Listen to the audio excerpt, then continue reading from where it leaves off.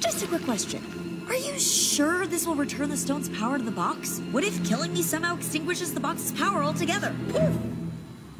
Don't be ridiculous. You think the core hasn't considered. Shut up, Andrias,